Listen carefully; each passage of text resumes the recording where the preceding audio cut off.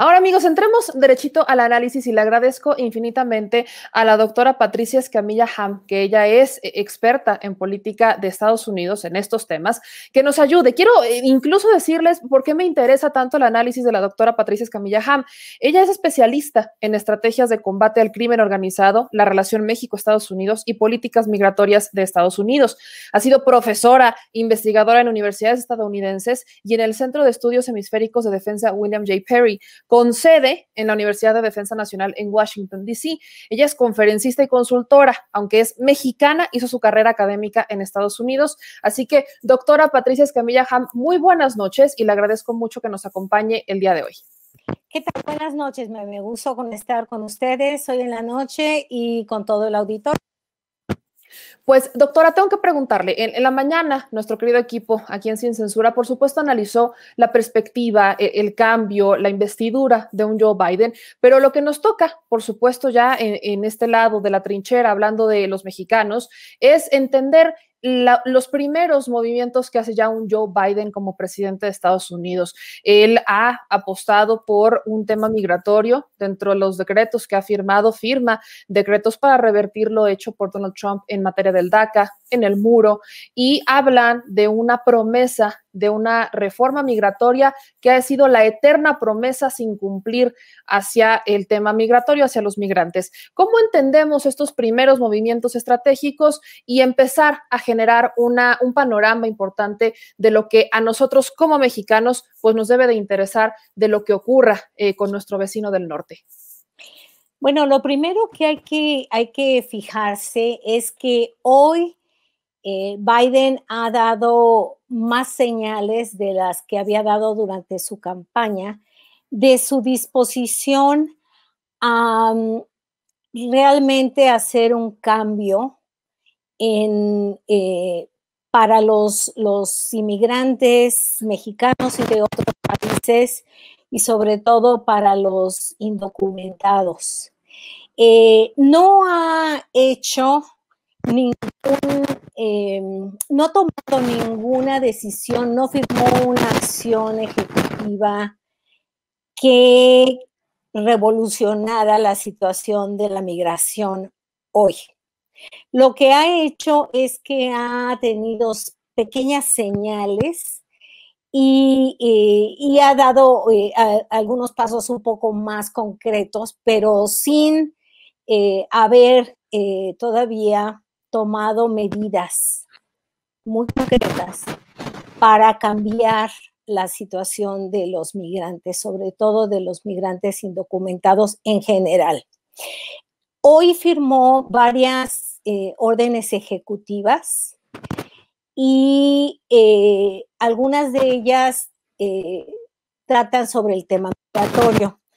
Pero eh, una de las que, bueno, hay dos que directamente afectarían a los migrantes mexicanos.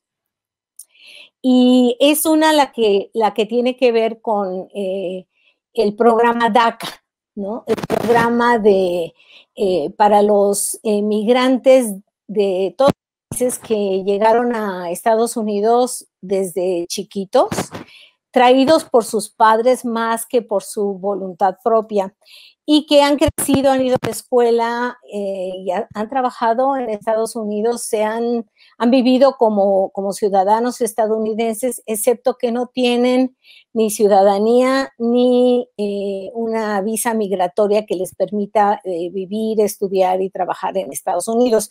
Entonces, lo que hace el presidente Biden hoy es que le pide a su gabinete que empiecen a ver la manera de eh, que se, reafirme el programa DACA y que eh, se, busque la manera de darles eh, la, residencia legal y a partir de, unos años que se les dé la ciudadanía. ¿Qué es, ¿Qué es lo que pasaba antes? Trump en 2017 eh, pasó también una orden para que se eh, eliminara el programa de DACA. Lo que quiere decir que todos estos jóvenes que ya estaban, eh, por lo menos en estatus temporal, eh, legalmente en Estados Unidos, se les quita el programa y se quedan en el limbo.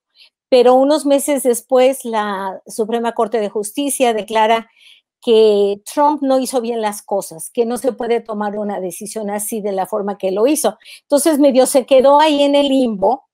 ¿Qué pasaría con los los soñadores, como le llaman. Entonces, hoy lo que hace Trump, eh, eh, Biden, es precisamente echar a andar eh, las ruedas de ese, de ese em, asunto y va a tener que, este, esperar a que le den los resultados de, los reportes que hagan y que se pueda ah, llevar a cabo una, una reforma eh, que les dé la, residencia legal y eventualmente la ciudadanía.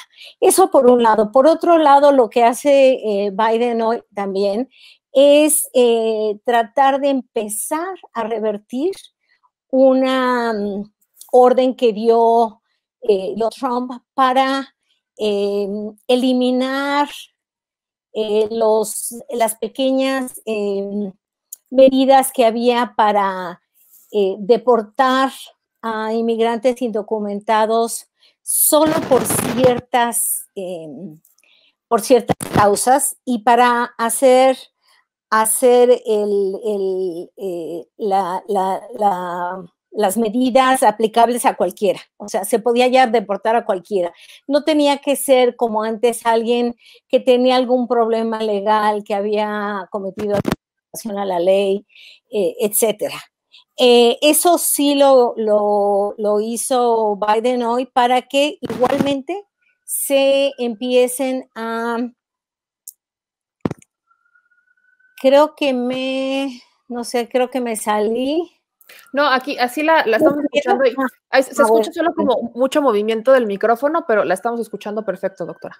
Ah, voy a tratar de no moverme. Gracias. Porque traigo audífonos. Pero bueno, sí me ve ya no los veo ahorita, no sé qué pasó. Pero em, bueno, em, lo, que, lo que se hizo es que se va a volver a, a para tratar de eliminar toda posibilidad de que los deportados sean cualquier que caiga en manos de, la ley o que vayan a, este, a buscarlos sin haber cometido ningún delito eh, que sea, que justifique su deportación. Eh, firmó varias órdenes ejecutivas sobre diferentes temas, pero em, sobre lo que hizo pendiente es eh, iniciar los pasos para promover en el Congreso una reforma migratoria que como dijo Alina, se está desde hace décadas y algunos de ustedes recuerdan que en el Vicente Fox y Jorge Castañeda en el 2000, 2001 andaban hablando de que iban a, demandar que se les diera la enchilada completa a México. Es decir, una reforma migratoria eh, integral para que se legalizara a los eh, inmigrantes indocumentados y se les diera un, eh, un camino hacia la ciudadanía. Ahora, doctora, eh, si me permite, vamos a, mejorar la comunicación. Ya le pedí aquí a mi querido eh, Ricardo que me ayude con la, con la llamada. Vamos a intentar que sea vía llamada telefónica para poder tener la, la, este, la comunicación, la voz mucho más clara. Mientras tanto, yo por supuesto, eh, hay que darle sentido a esto. Por ahí veo mucho comentario en donde dice la gente es que ¿por qué vamos a hablar de Biden? Hay que esperar primero que haga las cosas y después vamos a analizar. Sí y no. Estamos hablando de las primeras acciones de él, ahora ya presidente de Estados Unidos, Joe Biden, que eh, ha mandado muchos mensajes a lo largo de la campaña y que ahora los continúa mandando. Hay que también precisar, porque he visto, y creo que todos hemos visto en los medios, eh, en distintos medios de comunicación, que toman estas, estos decretos eh, presidenciales que firma un Joe Biden como el camino, ¿no? Como mensajes claros de que va a cumplir con lo prometido, de que va a cumplir con esta reforma migratoria, de que va a hacer eh, lo que prometió. Y creo que ahí sí es adelantarse demasiado. Hay que entender con toda precisión de qué van, qué son efectivamente, cuáles son los mensajes que está dando, qué es lo que está firmando. Eh, si me permiten comunicarles qué es lo que está firmando, cuáles fueron estos decretos que firma un Joe Biden, creo que aquí la parte es importante dejar esto con toda claridad. Eh, lo que está dejando, lo que está firmando, que tendrán por ahí eh, en pantalla un Joe Biden, son varios decretos, varios decretos. Empezaríamos con el de el cancelar lo del muro, creo que eso es lo primero que firma. Si se dan cuenta, todos los decretos que ustedes van a, ver en pantalla pues ahí están. Son 17 decretos. El primero es detener la construcción del muro. Eh, después va con el tema de, eh, del Muslim Travel Ban.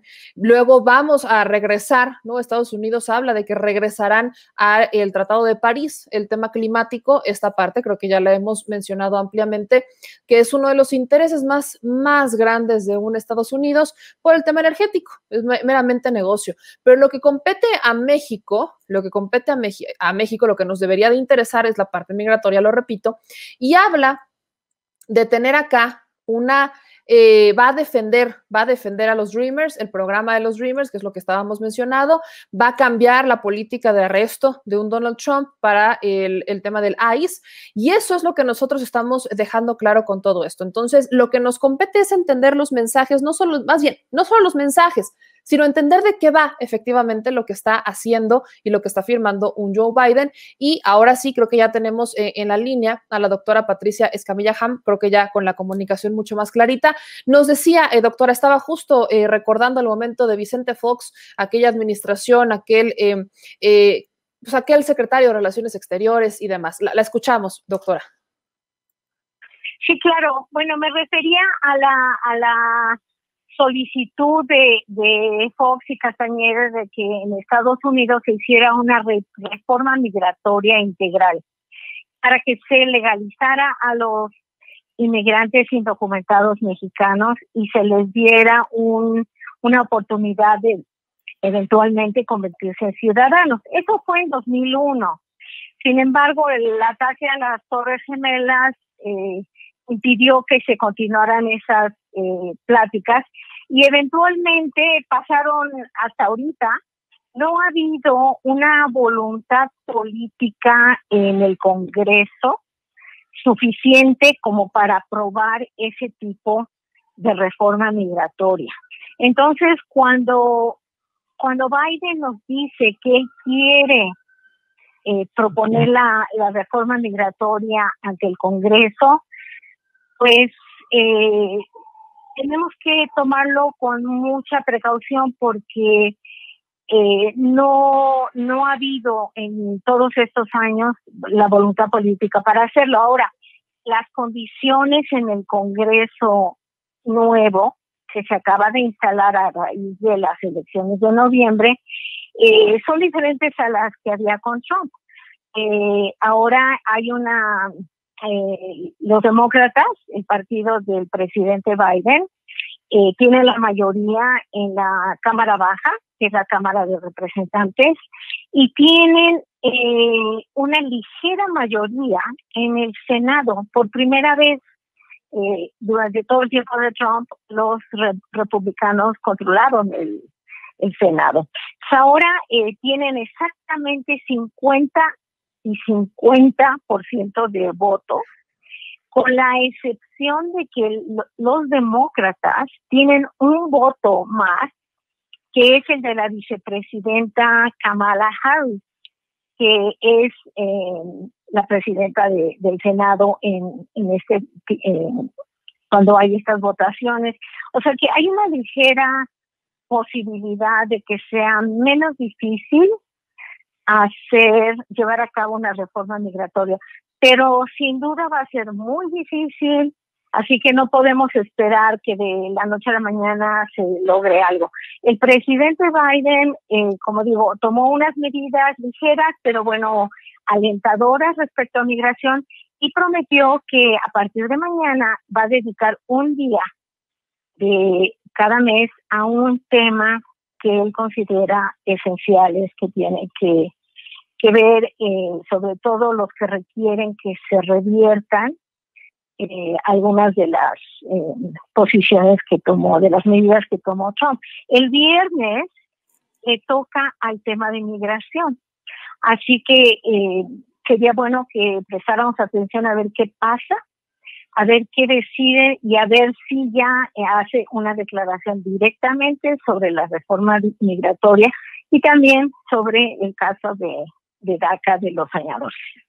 Eh, doctora Patricia, el día de hoy el presidente Andrés Manuel López Obrador reveló el contenido de una carta que le habría mandado el entonces candidato eh, Andrés Manuel López Obrador a un Joe Biden.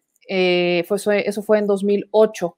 Entonces, candidato, lo quiero decir, no eran elecciones, ya había pasado lo del fraude aquí en México, pero eh, Andrés Manuel López Obrador, el activista en ese entonces, le manda una carta a un Joe Biden, a un vicepresidente Joe Biden, y esa carta pues trata en mayor medida el, el, tema migratorio. Habla de que el tema migratorio se debe de resolver de fondo, no solo por encima, de resolver las causas de migración y el que hoy el presidente realizara o que diera un fragmento, leyera un fragmento de esa carta en la mañanera, de alguna manera le manda un mensaje a un Joe Biden. Hay, hay ahora una, podríamos decir que es una forma de presionar para que cumpla, como para decirle, esto ya lo habíamos platicado, si bien ahora ya es trato presidente-presidente, pero no es nuevo para un Joe Biden y sería una forma quizás de motivarlo o darle el empujoncito para que no todo quede en la eterna promesa de los demócratas de hacer una reforma migratoria? Bueno, yo no creo que Biden necesite un empujoncito mexicano, digamos desde México, porque hay bastante apoyo para la reforma migratoria de ciertos sectores de, la población y sectores importantes, por ejemplo, eh, los migrantes. Hoy eh, habrás escuchado que Biden se refirió a los, a los migrantes indocumentados como trabajadores esenciales y hablaba específicamente de los trabajadores del campo, ¿no? Los que están en la agricultura y que realmente son una fuerza, una mano de obra esencial para Estados Unidos. O sea, no puede estar la economía sin eh, esa fuerza laboral, que es la que eh, cultiva, la que produce eh, pues todo los productos que, que se comen en Estados Unidos, ¿no? Así que no, no creo que necesite esa, esa presión, sin embargo, sí es muy positivo que AMLO eh, haya mencionado ese tema como un tema que les interesa a ambos países. Eso es muy importante. En, en, entre los eh, algunos de los analistas mexicanos se ha tratado de hacer creer a los mexicanos que, la relación entre AMLO y el nuevo presidente de Estados Unidos va a ser un caos y que eh, AMLO no no está no va a poder tener una buena relación con Biden. Eso no es cierto. No hay ninguna justificación, ningún sustento para pensar que puede, puede ser así. El, el hecho de que AMLO haya hablado de la reforma migratoria, también habló de la recuperación económica y del, eh, del COVID, ¿no? El, eh, la atención que se debe, dar al asunto del, del COVID. Eh, simplemente señalar que tanto Biden, bueno, que el, el gobierno de Estados Unidos actual y el gobierno de México tienen varios temas en común, sus intereses coinciden.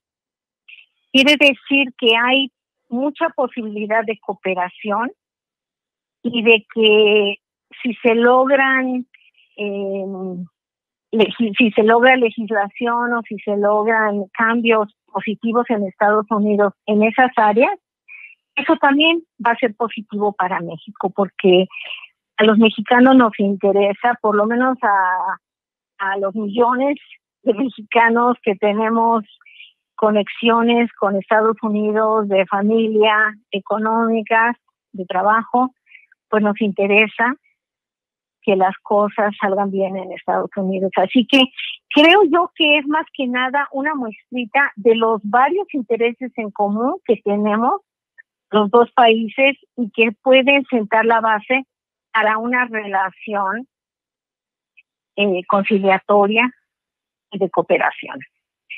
La, la relación entre México y Estados Unidos, como tú sabes, es una relación muy compleja y muy complicada porque tenemos una infinidad de temas en la agenda bilateral y porque somos dos países que no somos iguales en términos de, poder, poder económico eh, y poder, eh, pues hasta militar, poder decirse, pero sobre todo económico. Somos, eh, está un, un, un elefante y eso también lo, lo, lo dijo eh, el presidente Bush cuando fue eh, Fox y, Castañeda a, pedir lo de la reforma migratoria y se frustró por lo del el, ataque a las Torres Gemelas, dijo que era una relación como entre un elefante y un ratón. Se refería a dos ratones, a México y a Canadá.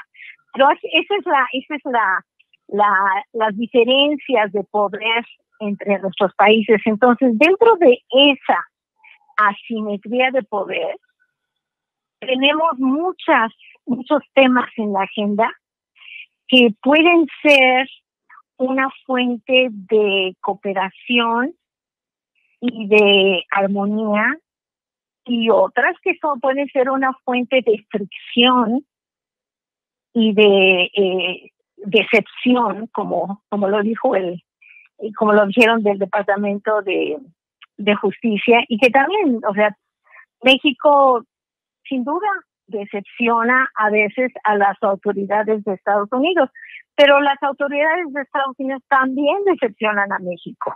O sea, no es una cosa en la que nada más sea de un lado. Así que eh, creo que es buena señal eh, de que puede haber estos temas en común. Tienen varios temas en común en los que podrían trabajar de forma armoniosa y cooperativa. Ahora, doctora, eh, si me permite, con esto me, gustaría eh, hacer esta conclusión. Bien menciona que hay ciertos analistas que están augurando una muy mala relación entre un Biden y un Andrés Manuel López Obrador. Así lo hicieron con Trump y un Andrés Manuel López Obrador. Pero existe, y esto es real, existe en la audiencia un claro eh, pues rechazo o escepticismo o falta, llamémosle, de, de, confianza a un propio Joe Biden por las acciones que todos recuerdan eh, migratorias, las deportaciones realizadas en la administración de un Obama, en la que él fue vicepresidente. Estos eh, señalamientos, esta desconfianza, usted la nota natural. Eh, también no podemos olvidar la parte de seguridad con rápido y furioso, que también México pues terminó pagando las consecuencias de aquella política. Bueno, también está la iniciativa Mérida y demás. vaya, considera que son válidas estas, esta desconfianza por parte de la audiencia que algunos han traducido en, una, eh, en un cariño a un Donald Trump y hasta hay quienes han tomado, particularmente estos analistas, tomaron como una, eh, una forma de comparar y de igualar a una persona como un Donald Trump con un Andrés Manuel López Obrador y dicen es que son iguales, vean la audiencia, eh, los seguidores de un Andrés Manuel López Obrador aplauden a un Donald Trump sin tomar en cuenta que hablan de un Biden, a quien existe un cierto escepticismo, una cierta desconfianza, porque ha sido un viejo conocido de México. ¿Cómo considera este análisis? ¿Cómo poder eh, darle el cauce correcto? Bueno, eh, para empezar, yo creo, yo pienso en base a lo que he estudiado, lo que he visto, que la actitud del presidente López Obrador ha sido una actitud muy pragmática, que nada tiene con, que ver con, un verdadero cariño hacia Trump, que ha sido un pragmatismo muy, muy crudo para muchos de nosotros, pero que al final realmente le funcionó. O sea, logró que ese ser ese presidente estadounidense no fuera peor con México que lo que pudo haber sido. Eso es, eso es eh, realmente un logro. Por otro lado, eh, ¿se parecen en algo? Para nada, para nada. Eh, los críticos de AMLO le buscan parecidos con muchos líderes que nada tienen que ver, ni ideológicamente, ni de comportamiento, ni físicamente, etcétera. Lo que, lo que eh, hemos visto con AMLO es que ha sido un líder muy pragmático y a la vez muy eh, sentado en sus principios, pero él lo ha dicho muchas veces, la política es, es eh, una cosa de, de, eh, de, la, de lo que se puede hacer, de la factibilidad de las cosas. O sea, si no puedes hacer algo, no tiene caso que, sigas insistiendo en eso. Entonces, bueno, eso por un lado. Por otro lado, eh, yo creo que a todos nos beneficia que Trump haya salido del, de la escena de la relación bilateral. Por otro lado, Biden. Biden no es un santo. Biden es mejor que Trump en varios aspectos, pero tiene muchas de las características de todos los presidentes estadounidenses. No es algo que se le deba achacar nada más a Biden. Efectivamente, Biden ha apoyado como vicepresidente varias eh, medidas políticas que no han beneficiado a México.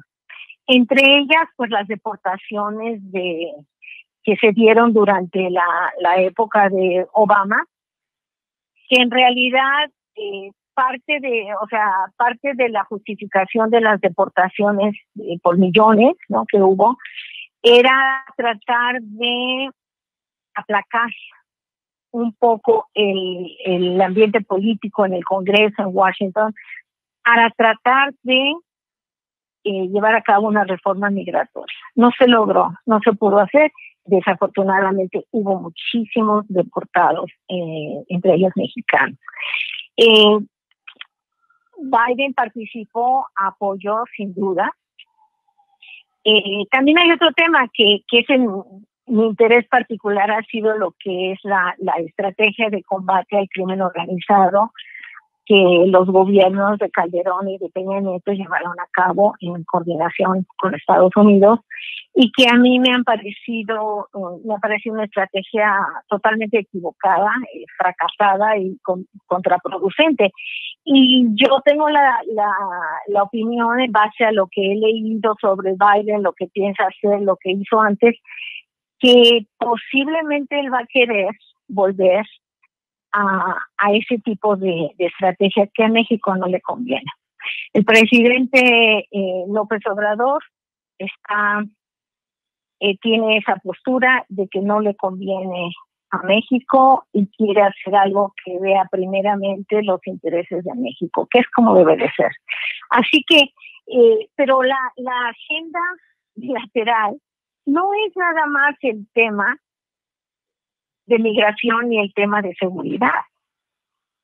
Hay otros temas, el, económico, el económico es crucial. México, la economía mexicana depende más del 80% del comercio con Estados Unidos. Entonces, la cuestión económica y de comercio es fundamental para México.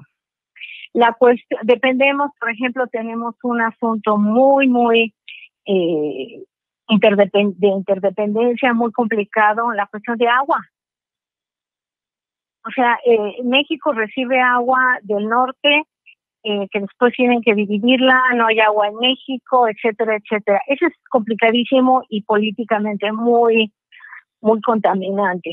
Así que tenemos muchos temas. Tenemos ahorita el tema del COVID, que no se puede separar. La frontera no impide que el COVID hace de un lado a otro tenemos que cooperar más en el tema de, de COVID. Y con Trump no había cooperación, realmente. Entonces. Eh, hay muchos otros temas. Sí. La, escucho, la escucho, doctora. Ah, no, lo que, lo que quiero enfatizar es que la, la agenda bilateral es tiene múltiples asuntos, todos complicados, eh, complejos, y hay un, tema que, que, una forma de describir eh, la naturaleza de todos los asuntos que se, se aglutinan en esta agenda, se les llama asuntos intermésticos. Quiere decir que son asuntos posiblemente domésticos, pero que tienen dimensión internacional. Por ejemplo, la migración. Para Estados Unidos la migración es un tema doméstico que nada más tiene que ver con, con Estados Unidos y que Estados Unidos debe tomar todas las decisiones. Sin embargo, tiene una dimensión internacional crucial para México y para otros países.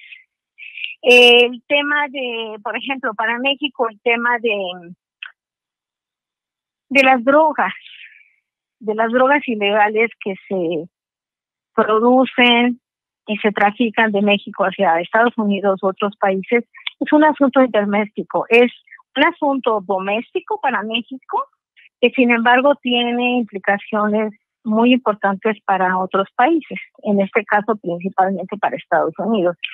Eh, y bueno, el agua, como yo lo dije, es un asunto interméstico, entonces se involucra todo lo que es la política doméstica, y me refiero no solo a políticas públicas, sino a lo que es la grilla política, ¿no? Involucra a los congresos, involucra a los partidos, involucra a las elecciones, muy complicado. Y hay que encontrar la manera de negociar las mejores eh, posiciones que pues, en el caso de México pues que nos beneficien a México.